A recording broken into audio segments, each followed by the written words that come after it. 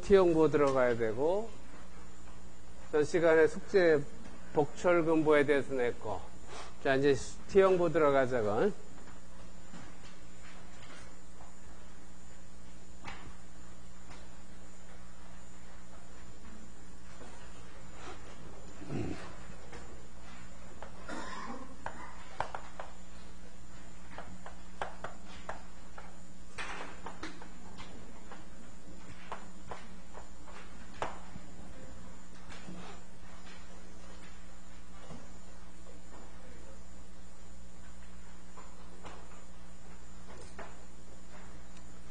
자, T형보, T형보를 잠깐 보면은, 어, 말 그대로,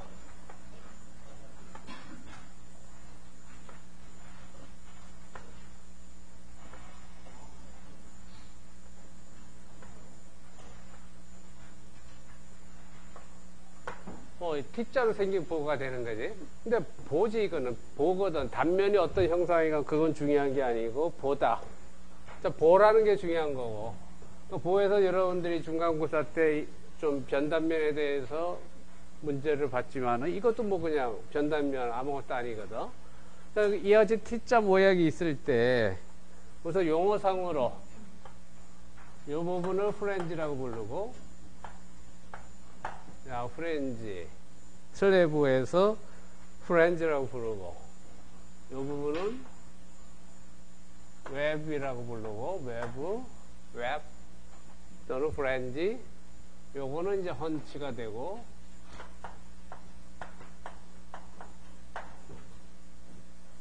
자, 그러니까 이렇게 일단 용어상으로 이렇게 돼 있고 용어상으로는 자 T자 모양을 가지고 있는 보를 T-shape beam이라고 부르고. 근데 우리가 이게 이제 생겨난 동기를 보게 되면은 실제로 이제 보가 있을 때 실제로 보가 있을 때 인장철근을 갖다가 열다 집어넣거든, 그지? 인장철근을 집어넣고, 자, 중립축이 여기 있다고 했을 때, 중립축이 여기 있다고 하면은, 자, 인장 콘크리트의 인장력을 무시를 하니까, 실제적으로, 실제적으로 이 단면이 없는 거지. 실제로 요거지, 그지? 실제로 요가 되고, 뭐, 요 형태가 되는 거지, 그지? 그럼 뭐 어떻게 보면은, 아, 어차피 인장측이 필요가 없는데, 얘도 이게 좁아져도 상관이 없다. 그래서 뭐 T형고라고 생각해도 되거든.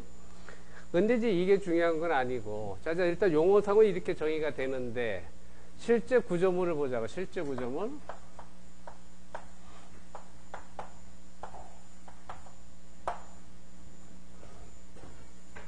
자, 이제 실제 구조물이 있으면 우리가 기둥이 있고, 기둥이 만약 이렇게 있다고 보고, 기둥이 만약에 이렇게 있다고 보자고.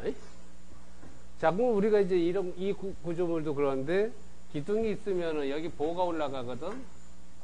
보가 뭐 이런 식으로 해서 올라가지고, 보가 이렇게 올라가지고, 여기서도 얘가 이제 보가 이렇게 올라가지고 자 보가 이런 식으로 올라가거든. 뭐 기둥의 역할은 이 보를 support 하는 거니까 여기서 하중이 있으면은 얘들 힘이 생기는 거 얘가 보가 됐거든 그지? 근데 이제 보가 있으면은 그 다음 단계에서 위에서 슬래브를 쳐주거든. 슬래브를 이렇게 쳐주게 되지 그지 이래서 슬래브가 또 올라가거든. 이래서 슬래브가 올라간다. 자, 이렇게 됐을 때, 이렇게 됐을 때 우리가 여기서 요 단면을 잘라보면은, 요 단면을 잘라보면은, 요 단면을 잘라보면은, 자, 보가 있고, 보가 있고, 그 다음에 위에 슬라브가 이렇게 연결이 됐거든, 그지? 이 형태가 됐거든. 그래서 이렇게 된 거지, 그지? 자, 그 이렇게 돼 있으니까 실제 건축 구조물 같은 경우에는 T자 모양의 보가 많이 생길 수밖에 없거든. 근데 실제 공사할 때는 요 기둥을 친 다음에 요 볼을 갖다가 거푸집을 거치하고 철근을 조립하고서 볼을 먼저 치거든, 그지? 볼을 칠 때, 이 볼을 칠 때, 철근이 이렇게 들어가고, 전단 철근이 이렇게 뽑아 놓거든. 뽑아 놓고, 뽑아 놓게 되면은, 보하고 슬래브가 일체로 콘크리트가 쳐지지, 그지? 이걸 안 뽑아 놓게 되면은, 안 뽑아 놓게 되면은 만약에 이렇게 놓고 이 공, 콘크리트 요까지 쳤어. 콘크리트 요걸 쳤거든. 어이? 그 슬래브를 쳐야 되잖아, 그지?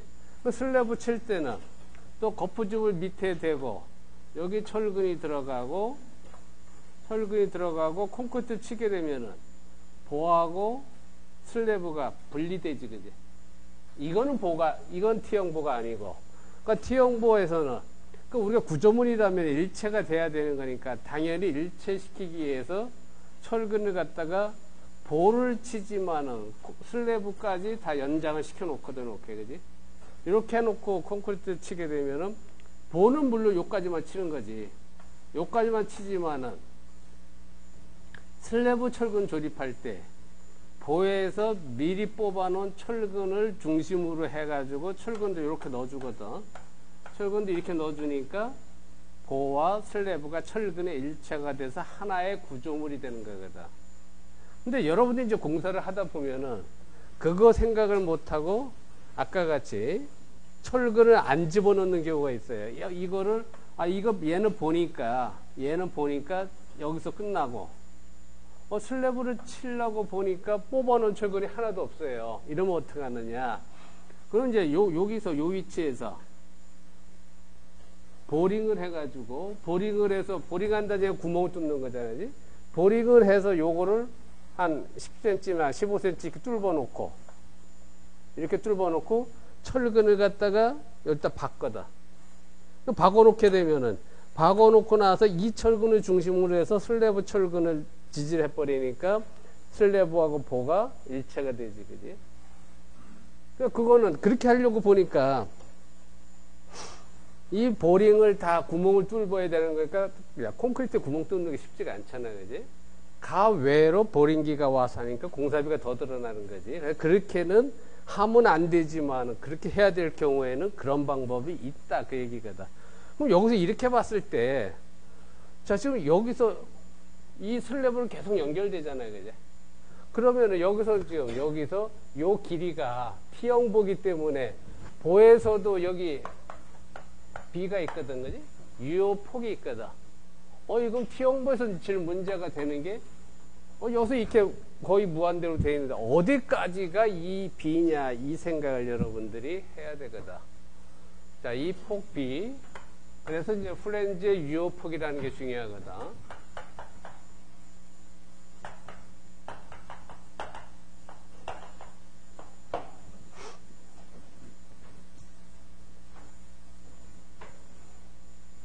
자, 여러분들 이 그림에서 이 폭 비인 단철근 구형부에서 보면은 응력분포 생각해 보자. 응력분포.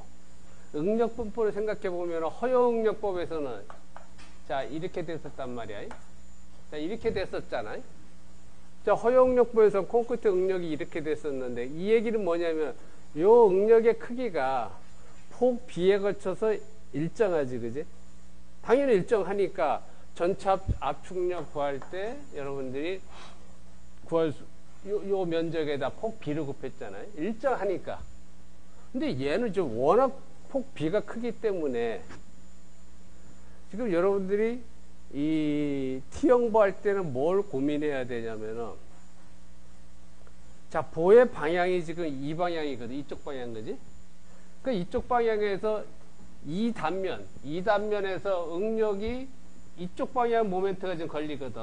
모멘트가 이렇게 걸려버리니까 여기서도 이제 응력 분포가 얘랑 똑같이 그냥 자 이렇게 돼주는 거거든. 그런데 이제 이 폭이 비가 짧을 때는 이렇게 돼요. 그런데 얘가 폭이 워낙 넓기 때문에 이게 일정하지가 않거든. 왜? 이 본데 하중이 여기 있다고 여기서 만약 작용하면은 아무리 이 축상으로 하중이 제일 크고 여기서 멀리 떨어질수록 이 응력 분포가 줄어들거든. 그래서 후렌즈 유효폭이라는 거는 실제로 얘가 이게 실제로는 이렇게 이렇게 되거든. 그러니까 중앙에서 가장 크고 멀어질수록 작아지거든. 그러니까 이거를 같다고 볼 수 있는 전체를 같다고 볼 수 있는 폭이 얼마냐? 그게 유효폭이거든.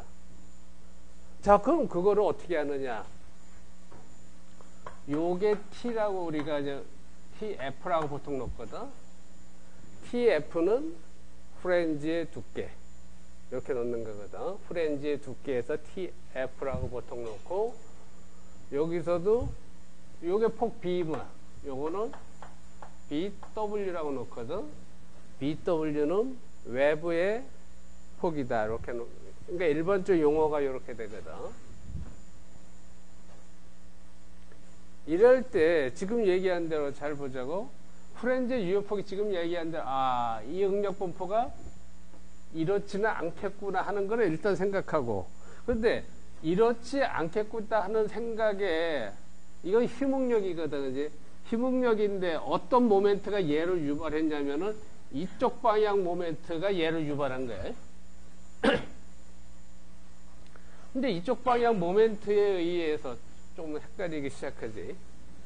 이쪽 방향 모멘트에 의해서 이 힘 모멘트가 힘응력이 이렇게 생기는데 워낙 폭이 크다 보니까 이게 일정하지가 않다. 이 응력 분포가. 근데 중앙에서 제일 클 것이다.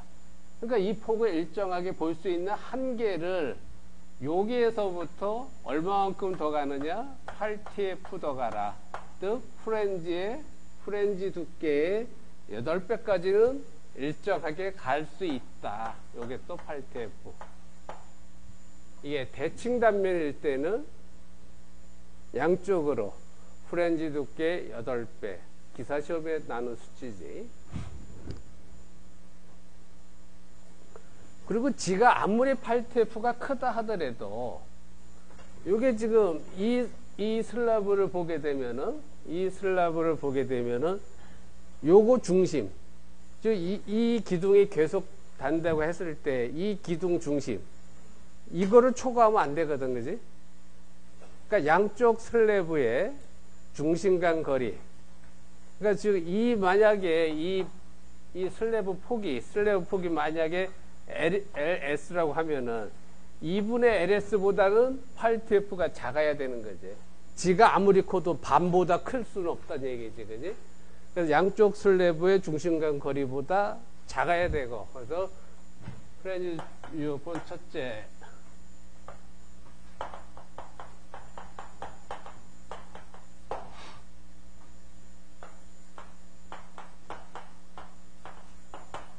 자, BW에서 양쪽으로 8T씩 나가가지고 16TF가 되고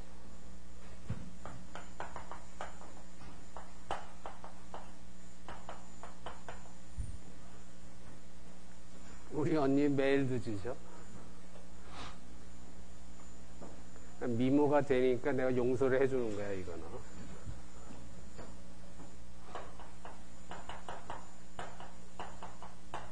자, 양쪽 슬래브의 중심간 거리. 지금 얘기하는데 이해가 되지? 양쪽 슬래브의, 지가 아무리 커져도 양쪽 슬래브의 중심간 거리보다 작아야 되고, 그 다음에 이 보의 경간, 지간은 어디야? 이쪽 방향은 지금 슬래브의 중심간 거리고, 슬래브는 이쪽 방향이고, 보는, 보의 지간은 이쪽 방향 예지, 그지? 왜? 보가 기둥에 의해서 이렇게 지금 지지되고 있잖아, 그지? 그래서, 보의 지간의 4분의 1. 자, 요거보다는 작아야 되거든.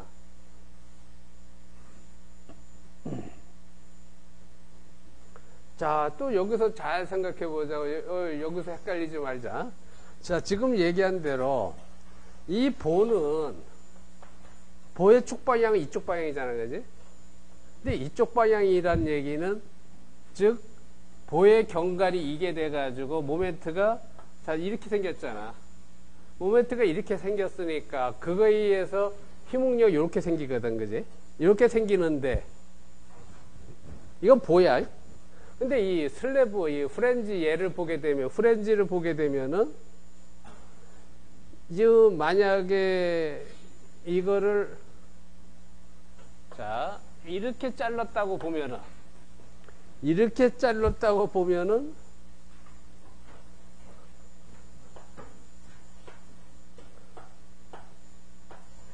자 이렇게 이런 상태가 되거든. 자, 이 슬라브가, 이 프렌즈가 이렇게 지지가 됐기 때문에 보, 보가 지금 이 양방향으로 갔잖아요. 그지? 그럼 이, 이 중간에서는 이 프렌즈는 이쪽 방향으로 이렇게도 휘잖아, 지금. 보는 이쪽 방향으로 폈고, 요걸 갖다가 만약에 X축이라고 하고, 요게 수직인 축을 갖다 Y축이라고 놨을 때, 보는 X축 방향, 즉 Y축에 대한 모멘텀 나타나지 지금. 어? 그런데 이 슬래브 플랜지를 보니까 이축 방향에서 얘를 감싸 모멘트가 이렇게 생긴단 말이에요. 지금 얘가 이렇게 지지가 됐잖아. 보가 여기 있으니까 슬래브가 이렇게 휠 거 아니야 이렇게. 그러니까 이거는 즉 X 방향 모멘트가 됐지, 그지? 무슨 얘기냐면은 이 플랜지는 실제 슬래브 상에서 양방향 모멘트를 받고 있다 그 얘기거든. 그러니까 이 D형 보에서는 보의 축으로 이와 같은 휴목력이 생기거든 그지. 이와 같이 휴목력이 생겨가지고 여러분들이 강도서울계법에서 응력 분포를 이렇게 봤거든 그지. 자, 0.8FCK. 요 같은 응력 분포는 요 단면에 지금 이렇게 나와서 이 직사각형으로 이렇게 나온 거지. 이 응력 분포는 요, 요 축에 대한 얘가 Y방의 모멘트에 의해서 생긴 거고. 근데 여기서 지금 압축력이 생기는데 이쪽에서 이쪽에서도 힘이 생겨가지고 위쪽의 압축 또 아래측의 인장이 생겨가지고 이 압축이 XY 양방향으로 같이 들어와 버리거든. 그래서 실제적으로는 요 응력이 약 20% 정도 증가가 되거든. 그게 무슨 얘기냐면은 여러분들이 지금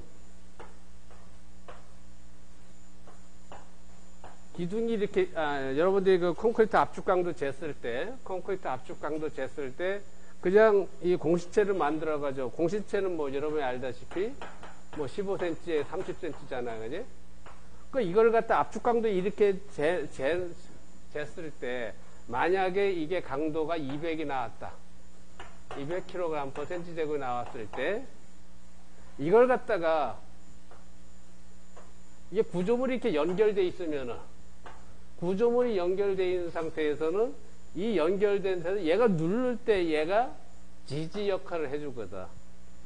그렇기 때문에 이 압축 강도가 약 20% 증가하거든. 똑같은 원리로 여기서도. 그러니까 여기서도 이쪽 방향 힘이, 힘이 이쪽 방향으로 지금, 즉, Y 방향에 힘이 생겼는데, 슬라브에서는 X 방향에 힘이 또 생겼거든.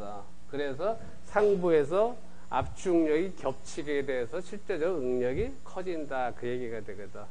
자 그래서 실제적으로 여러분들이 요건 이제 이 프렌즈라고 하지 않고 요 지금 얘기한 요 프렌즈는 슬래브가 되기 때문에 요거는 2학기 때 배우게 돼 있는 거거든.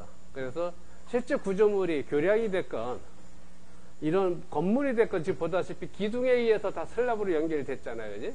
교량에 있어서도 교각에 있고 슬래브가 있잖아요. 그 실제 구조물에서는 슬래브 구조물이 무척 많거든. 그래서 이제 2학기 때 그 슬래브에 대해서 해석하는 방법을 이제 배우거든. 그러니까 이 슬래브는 지금 같은 경우에 지금 같은 경우에 만약에 기둥이 이렇게 있고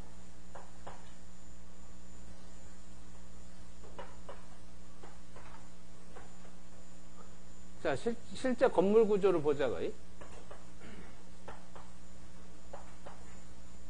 자 실제 이렇게 건물이 있으면 기둥이 올라왔거든. 기둥이 올라오고 나면 어떻게 하냐면은 여기에 보를 쳐주거든 보. 보가 이렇게 쳐줘주고 얘들 보야. 보가 이렇게 쳐줘주고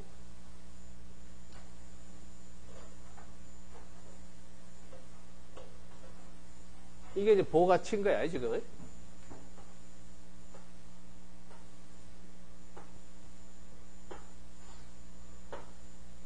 자 이렇게 격자 구조가 됐잖아요. 이제. 그러니까 기둥과 보가 된 거고. 이렇게 한 다음에 이거 지금 이 상태에서 여기는 다 뚫린 거지, 그지? 여기가 뚫렸잖아. 뚫렸는데 차가 다닐 수도 없고 사람이 다닐 수도 없고 하니까 슬라브를 치는 거지, 그지? 그 슬라브를 쳐놓게 되는 거야. 그 슬라브를 이제 쳤다 치고 했을 때 만약에 우리가 이렇게 잘라 본다면, 이렇게 잘라 본다면은 자 기둥이 보일 것이고, 그지? 기둥이 보일 것이고, 요 보가 보이겠지, 그지? 그러니까 요 보가 어, 연결이 돼 있으면은 이렇게 보일 것이고, 그 다음에 슬라브가 이제 쳐진 게, 슬라브가, 보가, 뭐, 이 정도 있다가 치고, 그 위에 슬라브가 이렇게 쳐지겠지, 그제? 자, 이와 같은 형태로 나타날 수가 있는 거지.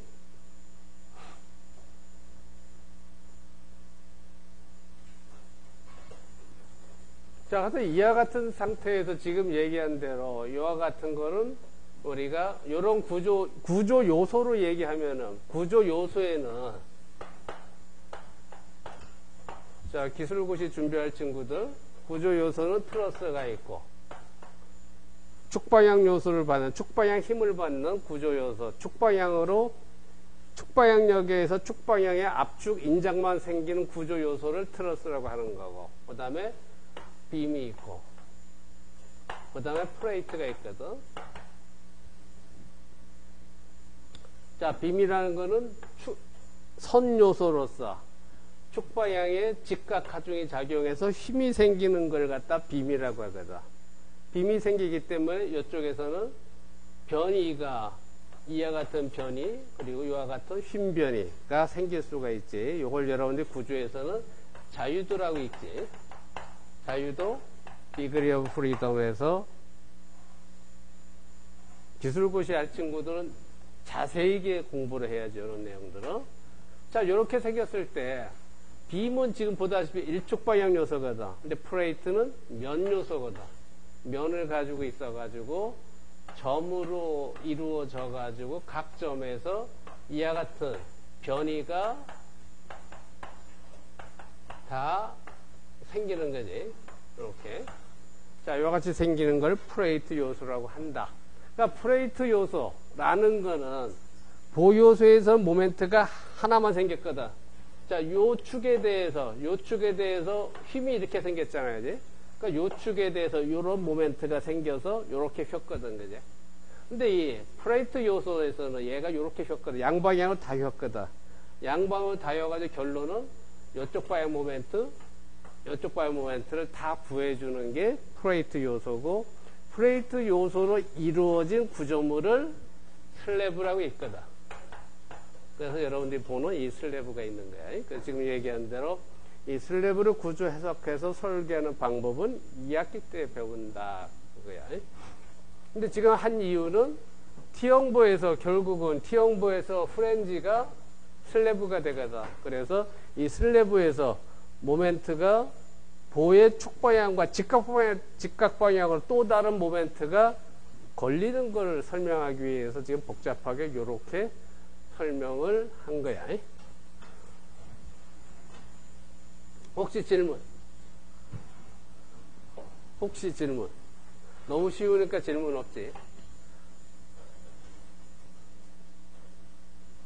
자, 그러니까 지금 일단 자, T형보에서 프렌즈 유효폭, 이거 이해를 하고, 왜? 이, 이 T형보의 프렌즈에서 폭이 워낙 크기, 크기 때문에 그지 이 응력 분포가 일정하지 않다. 그러니까 이거를 일정하다고 볼 수 있는 크기 그게 유효폭이거든. 그래서 요걸 맞거든. 자 그럼 두 번째로 대칭인 경우는 이렇게 되는데 비대칭인 경우가 있거든. 자 비대칭인 경우 여러분 자, 교재로 다시 돌아가서 130페이지 보면은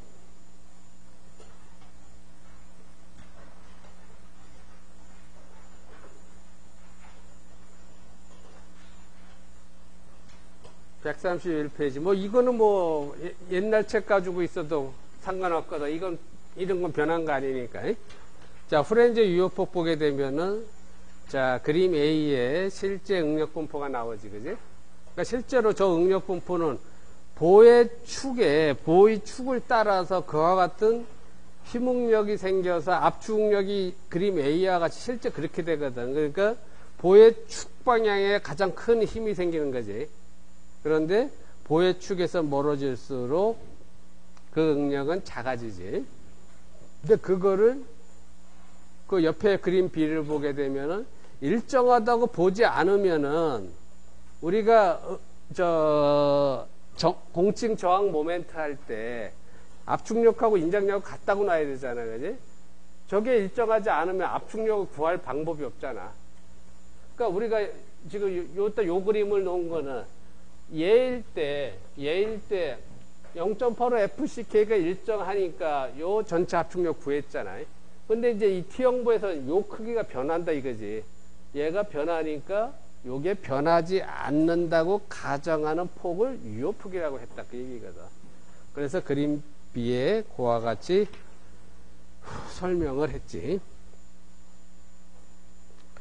자, 그럼 132페이지로 가서 신교재 비대칭 T형보를 보게 되면은 자, 그림을 그려놓고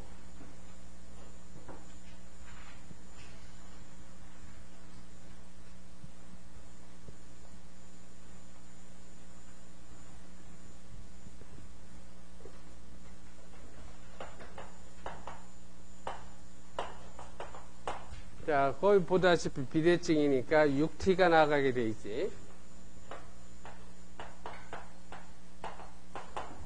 자, 비대칭일 때는 8T가 아니라 6T만큼 나가라. 그리고 보의 지간의 4분의 1이 아니라 12분의 1.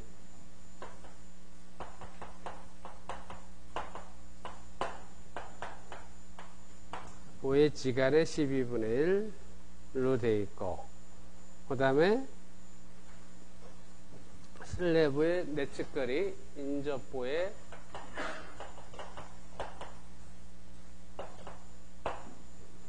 그러니까 인접한 보라는 얘기가 이거거든. 인접한 보가 이거거든. 여기 보가 하나 쭉 가고 여기도 보가 하나 가잖아요. 그러니까 얘 인접한 보는 이거고 이거의 중심간 거리 그거의 2분의 1이라는 얘기지, 그지? 그래서 이제 설명이 됐지. 그러니까 요거는 아무것도 아닌데 기사 시험에 나더라 그 얘기고 뭐 여러분들이 기사 시험 걱정할 친구는 하나도 없겠지, 그지? 그런데 보면은 실제 4학년들 물어보면 3분의 2는 떨어지더라고. 지방대들은 3분의 1 떨어지는데 여러분들 3분의 2가 떨어지더라고. 왜 그런가 봤더니 우습게 보거든. 지방대에서는 그것만 공부하고. 근데 기사시험도 없으면 정말 이 시공사의 원서 넣을 수가 없지. 그것도 없는데, 그지? 현대건 삼성이가 이런 데서 기사, 기사 자격증 없는 친구를 뽑을 수가 없거든. 그리고 여러분들 이제 나중에 설계하고 싶으면은 기사 자격증 따고서 5년이 있어야지 기술사를 따잖아요. 그러니까 반드시 기사 자격증은 따야 되거든. 기사 자격증은 내가 졸업했을 때 78년도 그때 졸업했을 때는 그때 월급이 19만 원이었었는데 기사 자격증 하나 있으면 수당을 2만 원씩 더 줬어. 그러니까 토목기사 땄지, 건설 안전기사 땄지, 또 소방기사 땄지. 그러니까 세 6만 원이 탁 늘어나 19만 원 월급이 대리 월급하고 비슷해지거든. 그 당시엔 그랬다. 근데 요즘도 요즘 뭐 기사자야 너무 흔해서 주지는 아마 근데 조금은 줄 거야. 근데 기술사는 결정적으로 주지. 기술사는 꼭 필요하니까. 그러니까 무슨 공사를 따면 기술사 몇 명이 있어야 된다 이런 규정이 있거든. 그러니까 기술사를 확보하려고 뭐 연봉을 갖다 확 두 배, 세 배 띄워버리지.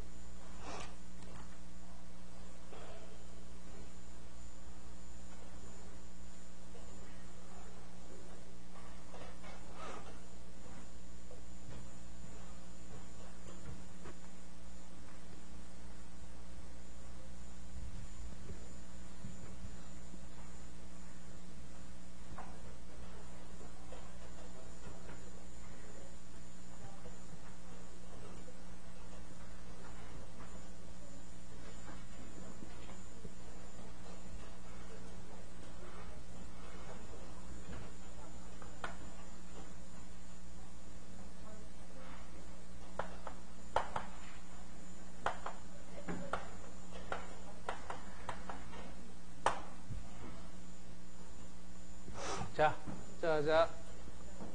자, 지금 이제 하고자 하는 거는 이제 T형보 판별에 대해서 얘기를 하고자 하는데, 자, 이게 무슨 얘기냐면, 어, 이게 무슨 얘기야?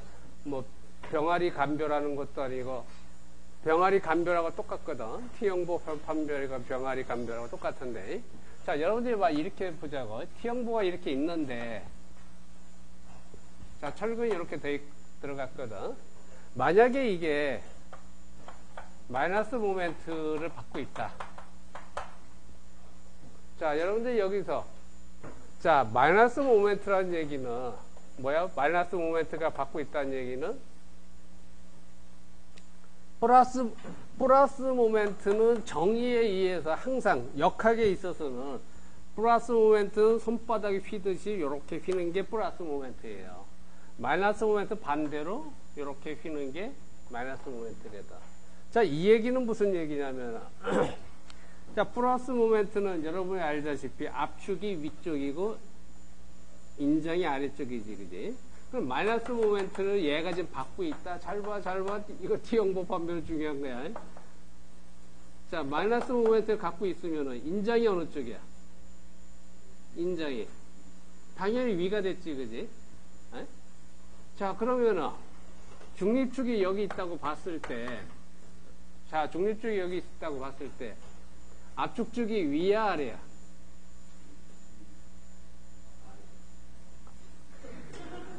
뭐? 위아래 어떻게 춤추더라? 나를 춤을 추게 시켜라.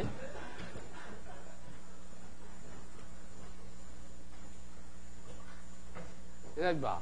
자, 아래, 아래지, 그지, 이제? 어? 아래지. 자, 아래면은, 아래가 압축축이야, 그지? 그러면은 어차피 콘크리트 인장축 무시하라고 시방서에 돼 있잖아. 그럼 이거 무시잖아. 무시잖아. 그지? 그러니까 이거는 말라스 모멘트를 받는 T형보에서는 T형보 판별할 때 말라스 모멘트를 받고 있으면 T형보지만은 T형보가 아니지. 얘는 폭이 폭이 BW, 얘가 BW잖아. BW인 단철근 직사각형 뭐가 된다. 그 얘기지. 그러니까 아까 얘기한 대로 병아리 감별하고 똑같은 얘기야. T형보가 였는데 갑자기 구형 보, 직사각형 보호로 바뀌었거든. 자, 그러면 또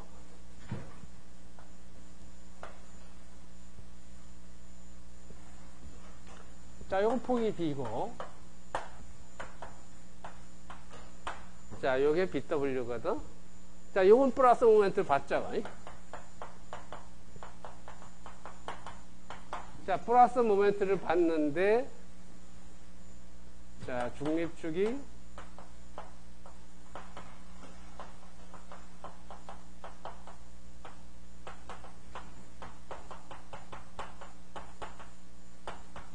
자, 중립축이 프렌지 내에 있다고 보자고. 그 얘기는 무슨 얘기야? 중립축이 여기 있네. 중립축 여기 있네. 이 얘기거든, 지금. 그럼 이 얘기도. 아, 중립축 아래. 자, 인장이 위아래야, 여기서는. 인장. 인장이 아래지, 그지? 그러니까 인장처럼 여기 들어갔지, 그지? 근데 중립축 아래 인장, 콘크리트 인장력은 무시를 하니까 얘가 또 없어지네? 얘가 없어져야 될 거 아니야, 그지? 이거 뭐야? 폭이 빈, 폭이 빈 단철근 직사각형보가 된 거지, 이거는. 이거는 폭이 빈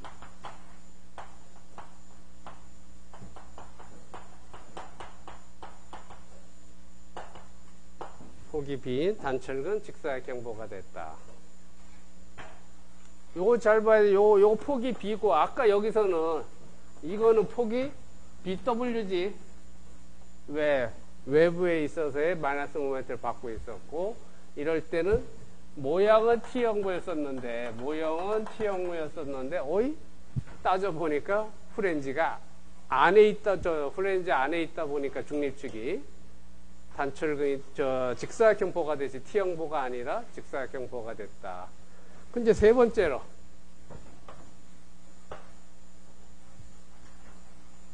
자, 여기서, 자, 플러스 모멘트를 받고,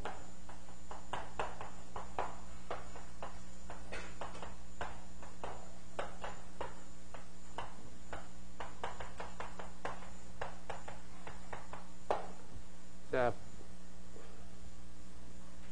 자, 플러스 모멘트를 받고 중립축이 외부에 있는 경우만 외부에 있는 경우만 이때만 T형부야.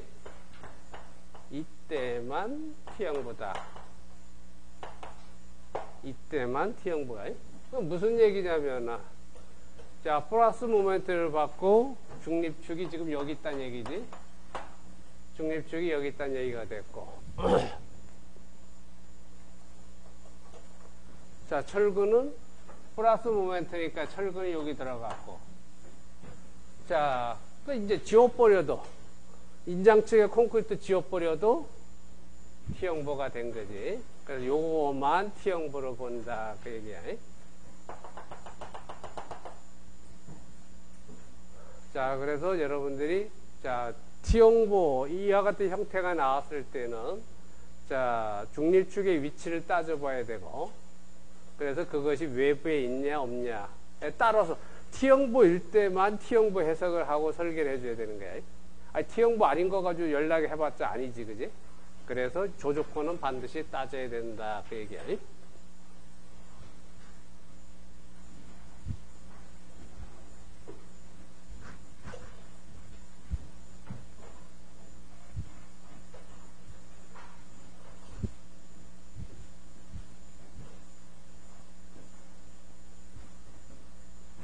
그런데 이제 자 T형보 판별법 요번에는. 자 어떻게 판별을 하느냐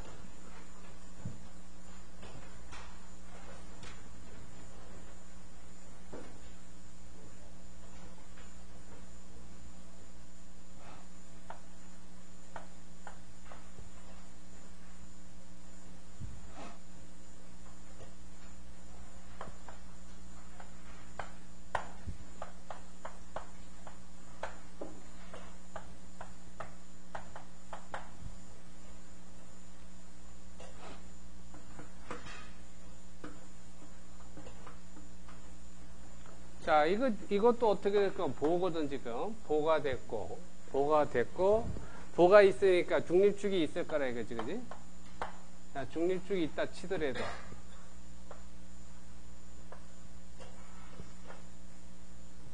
자, 이와 같은 배형률도가 생기겠지.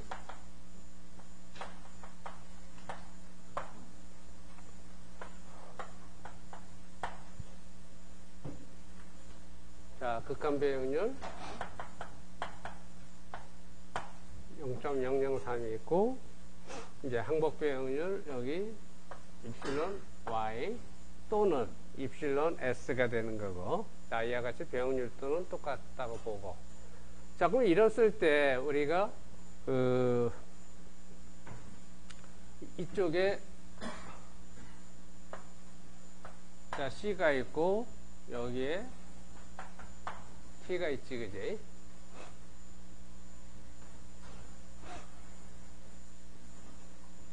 그러니까 일단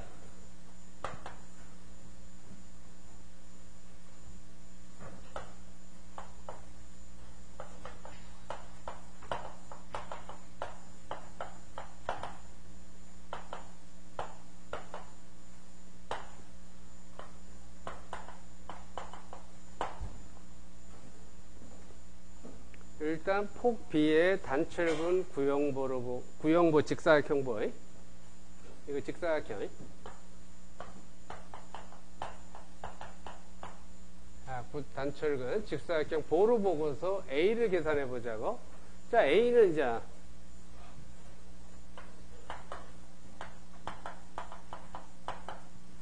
자 C는 전체 합중력은 이와 같이 되지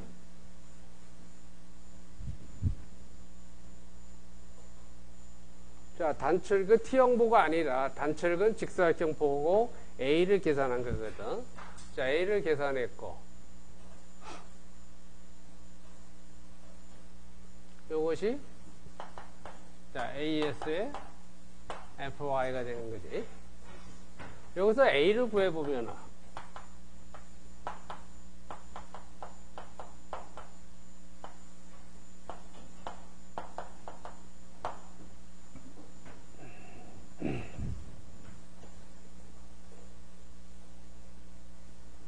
자, 여기서 요게 만약에 얘가 TF보다 작으면 자, TF는 플랜지의 두께지.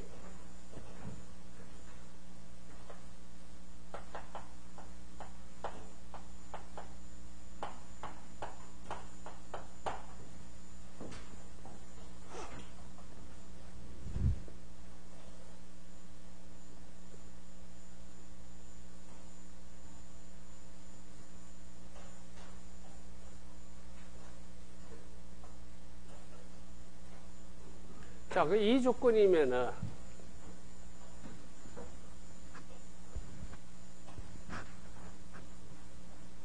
이럴 때는 그냥 직사각형 보가 되는 거지. 요것이 TF보다 크면은 요거는 T형보가 되고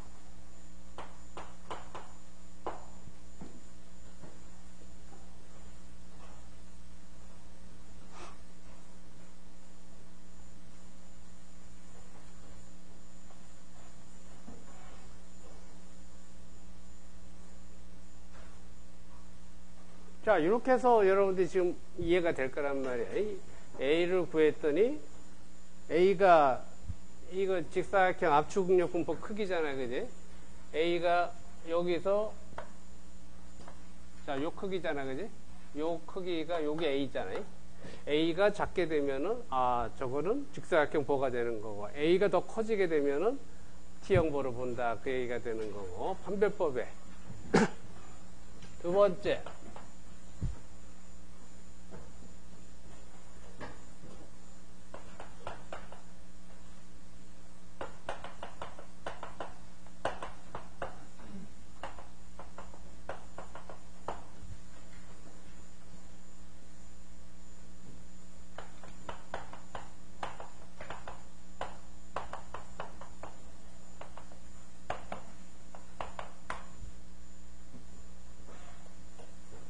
자, 프렌즈의 콘크리트의 압축력하고 인장 절근의 인장력을 비교해 본다.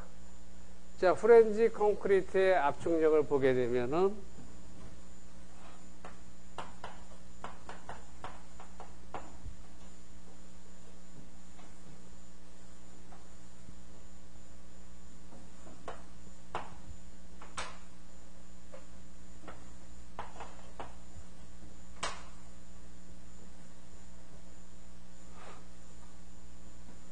자, 프렌지 콘크리트 압축력은 이제, 이제, 이렇게 되겠지. 일단 A가, 프렌지 전체가 압축력을 받는다고 봤기 때문에, 그럼 깊이가 TF가 되는 거고, 폭이 B가 됐지, 그지? 그러니까 이거하고 AS의 FY를 비교를 하는 거지.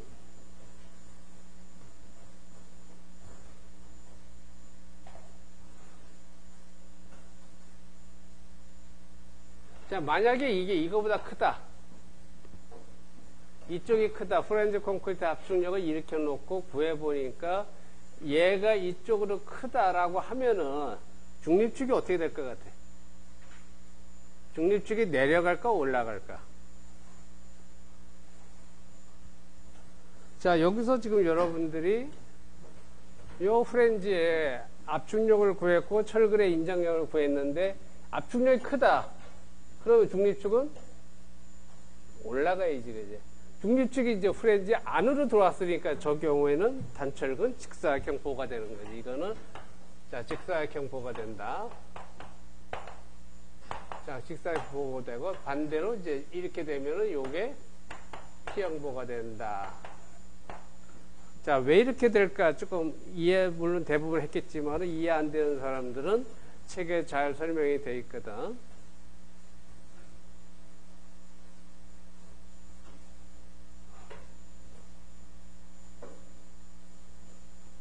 자, 여기서도 인장력이 지금 우리가 C하고 T가 있는데 C는 프렌즈의 압축력이거든, 지금.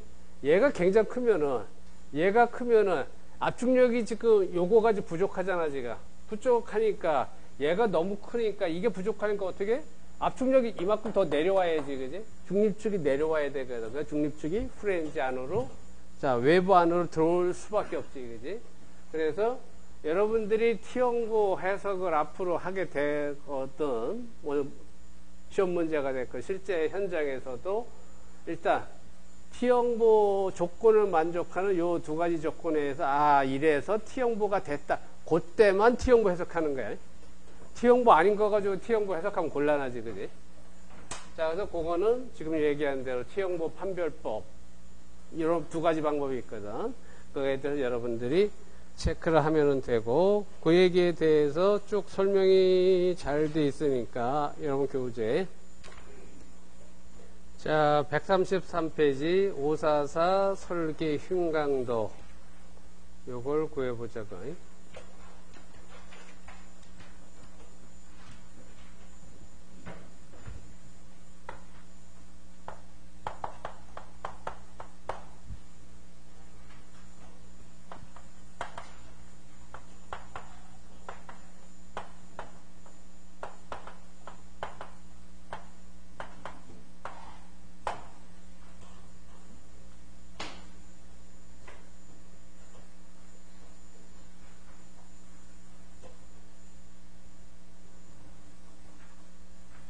자, 요거는 이제 기 말고사의 4번 내지 5번 문제가 되는.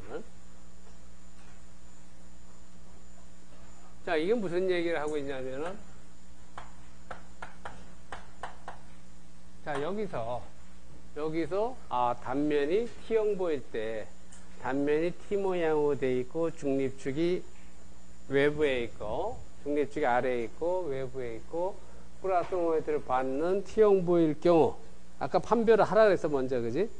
그렇게 했을 때, 아, 진짜 T형 보네? 그랬을 때, 얘를 어떻게 구하느냐 이 얘기거든, 그지?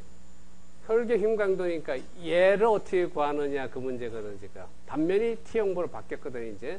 T형보일 때 PMN, 쟤를 어떻게 구하냐. 되게 쉽거든. 잘 보자고, 여기.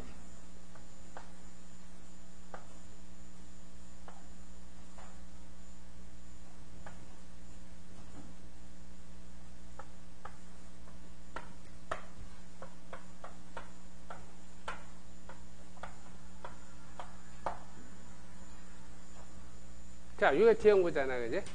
요럴 때, 요 단면에서 이제 PM의 예를 계산하는 거야. 설계 흉강도를.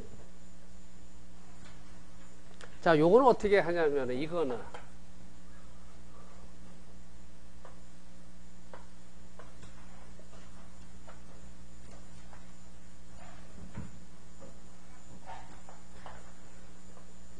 조금 이따 그려.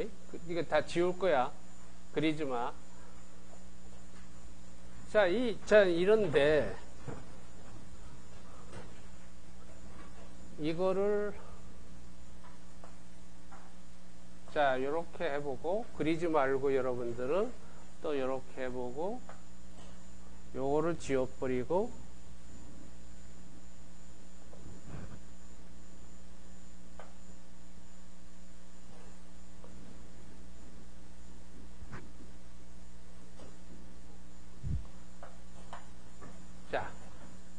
얘는 두 개 더한 거지, 그지? 두 개 더했잖아, 지금. 그지? 두 개 더했기 때문에 이 저항 모멘트, 설계 힘 강도를 두 개만 더해주면 되거든. 그래서 요거를 mn1, 요거를 mn2라고 놓자고, 어, 여기 봐. 집중해. 아니, 4번, 5번 문제라니까 하나 점수 20점짜리 주는 거야. 근데 이 정도는 이건 기사시험 문제거든. 이 정도는 바로 그냥 논문 나오기 때문에 자 지금 이 부분은 뭐야 지금 이 부분은 뭐냐면은 이 T형부에서 돌출 부분의 압축력이야. 그러니까 요거는 지금 얘기한 대로 후렌지 돌출 부분 압축력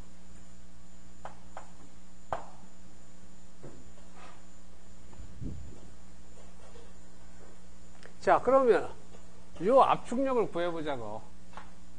C.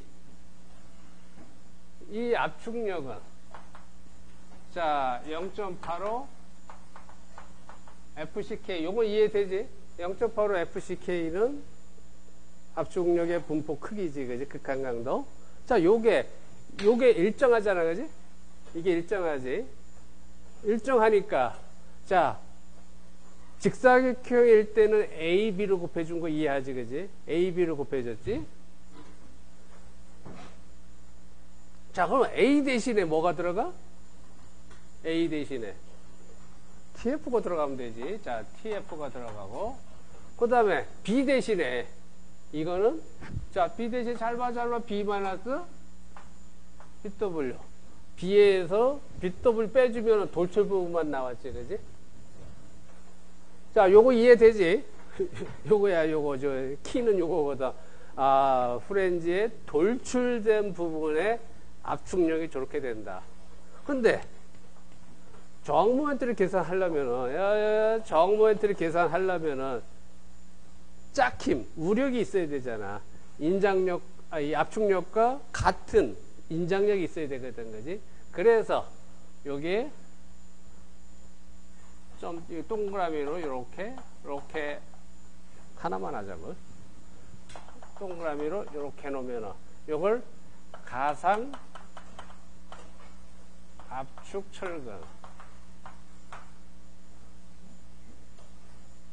프렌지 돌출 부분. 프렌지 돌출 부분에 가상 압축 철근을 여러분 책에서 보게 ASF라고 나와서 FY가 이렇게 들어가거든. ASF는 프렌지의 돌출 부분의 압축력에 상응하는 인장철근, 가상, 실제 없거든. 그래서 가상 압축철근이 이렇게 났거든. 자, 이렇게 되면은, 이렇게 되면은, 요 모멘트 8은 요 모멘트 8은 어떻게 돼? 요 모멘트 8은 뒤에서 뒤에서 뭘 빼줘야 돼?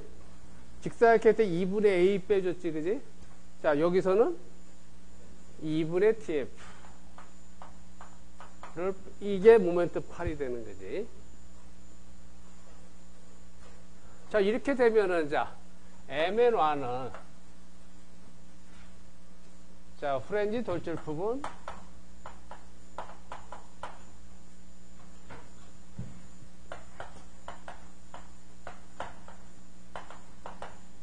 자, 요게 에다가 이거 에다가 자, 모멘트 8 저걸 곱해주면 되네.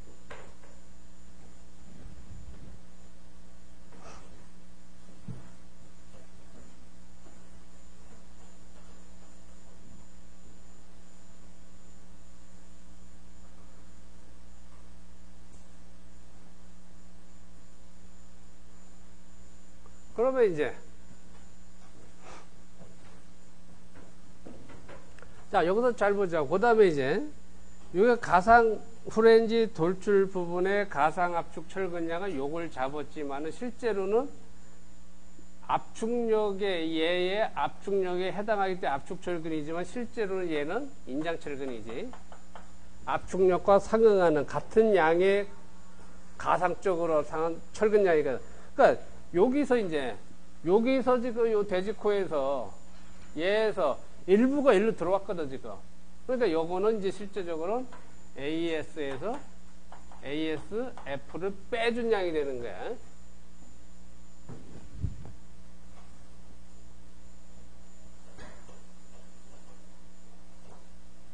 자, 그렇게 되면 이제 이쪽에 C는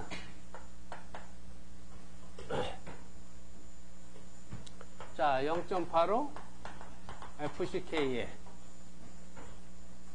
자, 우선 깊이 A는 뭐가 돼? A는 A는 요 모양일 때 A가 그대로 들어와야지. 아까는 TF가 들어가고 여기서 헷갈리면 안 되지. 잘 봐, 잘 봐. 여기서 얘가 TF가 된 거야. 하지만 여기서는 TF가 들어가면 안, 안 되는 거야. 얘는 지금 요거에 대해서 하고 있잖아요, 이제. 그러니까 이 단면일 때 A가 그대로 들어와야 되고. 근데 B가, B가 뭐야? 뭐가 뭐야? B? W가 됐지. 자, 이제 이렇게 됐으니까 이 저항 모멘트는 쉽게 나오는 거지. 저항 모멘트는 이제 여기서 모멘트 8이 B 마이너스 A 오버 2가 됐지.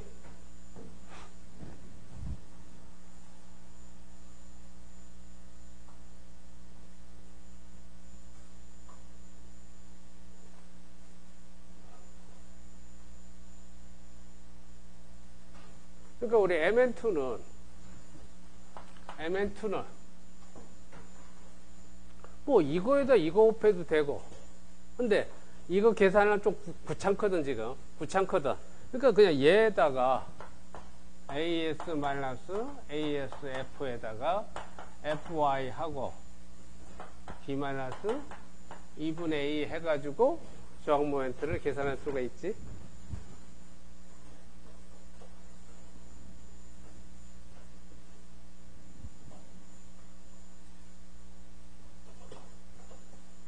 자, 그래서 저항 모멘트는 이와 같이 한다. 그런 얘기야.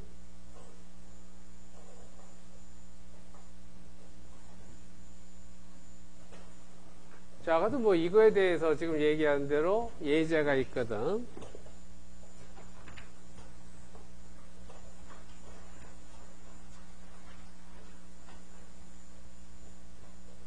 그 여러분 교과서 134페이지 보면은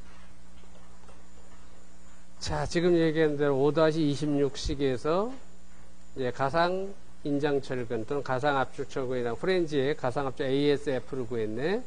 아까 얘기한 대로 후렌지 돌출 부분이니까 B-BW 했고 A가 TF가 됐고 그지? 그러니까 26 5-26식은 T형부의 후렌지의 돌출 부분의 압축력에 해당하는 가상철근이야.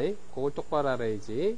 그래서 5-27식에서 공칭 힘 강도, 그 프렌지 돌출 부분에 대한 공칭 힘 강도가 MN1이라고 한 게 ASF의 FY D-2분의 TF로 계산이 됐고, 그 다음에 135식으로 가서 이제 자, 플렌지 돌출 부분 뺀 두 번째 저항 모멘트 그걸 계산하기 위해서 C와 T가 같고 거기서 A를 구했고 그래서 5-29식에서 저항 모멘트 그게 나왔지 그지?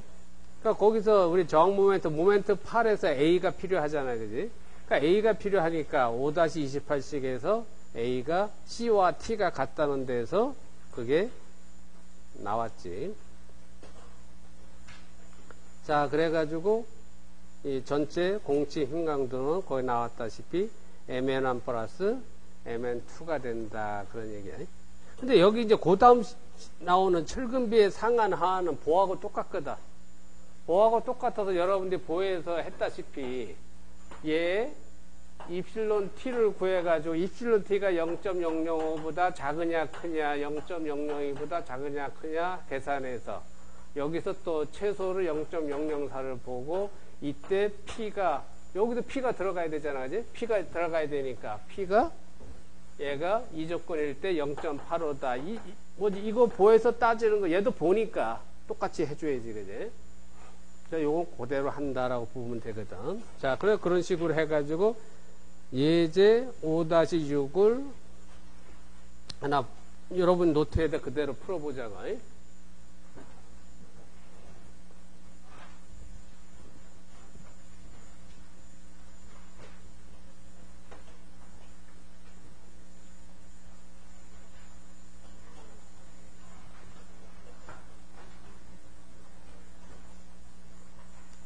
자, 예제 5-6이 있고, 플랜제 유효폭 B 176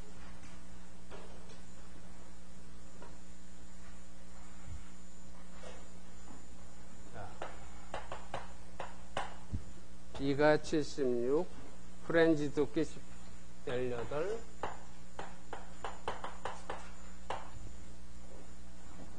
보의 높이 H가 100이네.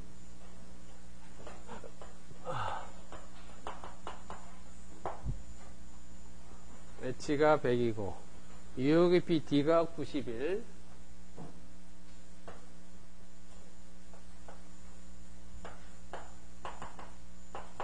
D91, BW36,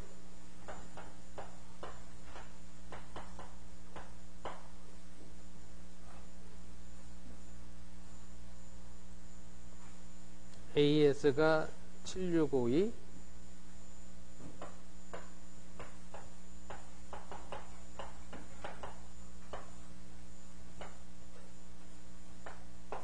AS765이 나왔고 FCK, FY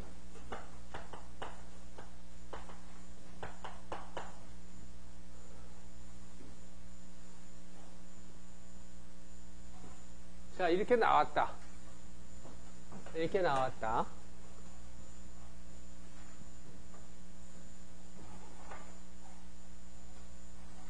자 이렇게 나왔을 때 이제 여러분들은 이제 헷갈리게 하는 게 뭐냐 헷갈리게 하는 이거 하면 무조건 여러분들이 그냥 여기다 대입해가지고 그냥 구해버린단 말이에요. 그런데 T형 보니까 아까 얘기했듯이 이건 지금 얘들이 쉽게 하려고 해놨는데 이게 만약에 76이 아니고 만약에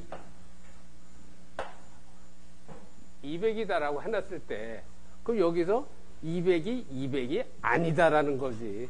거기서 여러분들이 헷갈려 버리지. 그지? 그렇게 되겠지?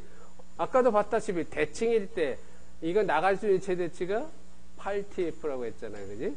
그러니까 TF가 18이니까 곱하기 8하면 8864에 144, 그지?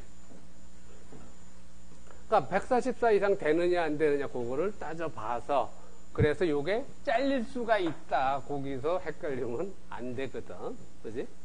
그런 게 함정이지. 항상 문제 낼 때는 뭐 바깥에서 나는 안 그러는 데는 굉장히 양심적이거든. 근데 바깥에서는 여러분들이 함정을 만들어 놓고 빠지기를 바라거든. 그래서 저기서 조심하면 틀릴 게 없다. 그거가 있고. 그 다음에 이게 이제 두 번째. 뭐야? 진짜 T형 분지 봐야지. 그지? 진짜 T형 분지. 아까 얘기한 대로 마이너스 모멘트 또는 이거 이렇게 놓고 중립축이 여기 있으면 이거 T형부가 아니잖아. 그래서 가장 프렌즈 유효폭을 검사한 다음에 두 번째는 진짜 T형부인지 그래서 중립축이 프렌즈가 아닌 외부에 있다는 것을 확인한 다음에 그때부터 T형부지. 야, 여기 있으면 당연히 직사각형부잖아요 그래서 그거부터 봐야 된다. 그래서 이제 T형부 판별법에 의해서 아까 얘기한 대로 A를 구해가지고 얘를 A를 구해가지고 이 TF하고 비교를 하는 거지, 그지? 그래서 중립축 여기 있냐, 여기 있느냐. 또는 프렌즈의 압축력과 비교해가지고 얘가 내려오냐, 올라가냐 따져가지고 중립축 위치를 봐가지고 이제 T형부가 됐을 때 그때부터 T형부로 해석하는 거고 해석은 이거 너무 쉽거든, 이거야. 그지? 프렌즈 이렇게 잘라놓고 가상압축 철근 구했거든. 요거에 해당하는 이거 쉽잖아. 이거만 틀리면 안 되지, 그지? 요거에서 가상압축 철근 구하고 나면은 인장은 거기서 그만큼 빼줘 놓고 모멘트 발이 이렇게 되는. 그 다음 계산하는 건 쉽거든, 그지? 그래서 철분 콘크리트가 이렇게 쉬운 거다. 이렇게 쉬운 거다. 정말 쉽잖아. 아, 이렇게 얘기했는데도 틀린, 틀리는 사람은 집에 가서 혼나야지.